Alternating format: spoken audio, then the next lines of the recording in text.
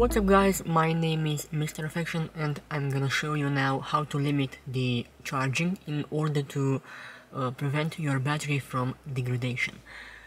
So to do that you need to go into the uh, car menu, go to trip.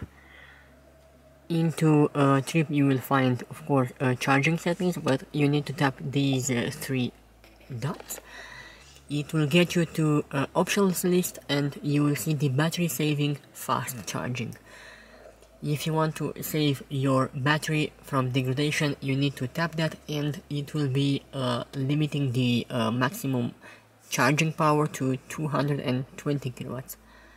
If you enjoyed it please like this video and I will see you in the next one. Ciao